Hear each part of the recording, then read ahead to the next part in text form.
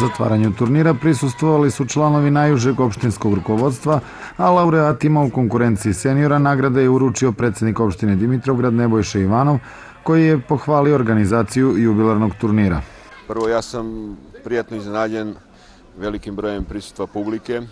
To pokazuje da ljudi su željni zabave, željni su opuštanja i u jednom delu mi smo dužni to da pružimo. E, druga činjenica da 50 godina turnira, omlinskog futbolskog turnira, sportskog, cariborskog, kulturnog leta, pokazuje da ta manifestacija ima kapacitet da živi.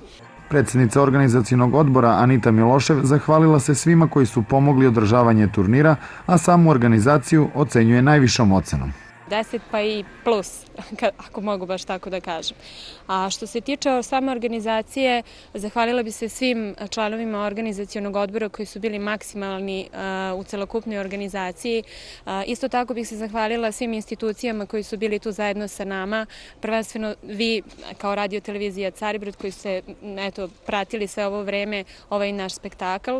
Onda je tu bio Dom zdravlja, policija, vatrugasna ekipa, naš ver verni sponsor Kafe Saks, tu nam je i Kafana Park. Apsolutno su svi bili u toku i svi su bili u organizaciji i jednostavno stvarno mogu da kažem hvala svima i e, daj Bože da imamo još mnogo takih manifestacija.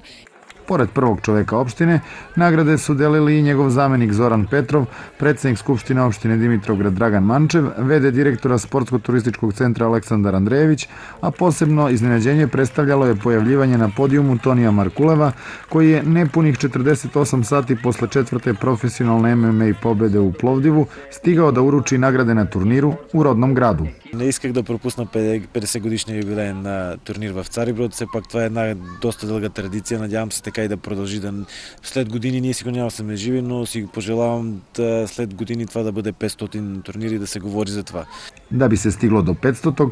potrebno je najpre organizovati 51. turnir. Predsednik opštine Nebojša Ivanov najavljuje drugačiji sistem organizacije već od naredne godine. Sledeće sportsko leto treba se napravi jedan finansijski pool mnogo veći iznos sredstava, da traje duže, tako da taj kapacitet bude prisutan i sport, kultura, već broj estradnih zvezda koje mogu da privuku e, veći broj publike, tako da to postane ne samo zabava, nego da postane i biznis e, i podrška lokalnom biznisu u tom delu koje je vrlo značajno za opštinu.